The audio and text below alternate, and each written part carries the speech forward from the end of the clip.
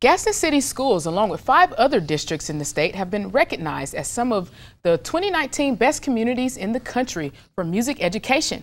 This recognition is from the National Association of Musical Merchants, which only recognized 623 school districts nationwide. This award program is designed to acknowledge the outstanding efforts by teachers, administrators, parents, students, and community leaders who have made music education a part of central and well-rounded education. This is Gadsden City Schools' first year receiving this honor.